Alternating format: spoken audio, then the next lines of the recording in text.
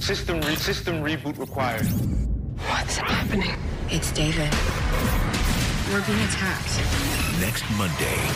Computer records across the globe, all corrupt. No, we have to go back.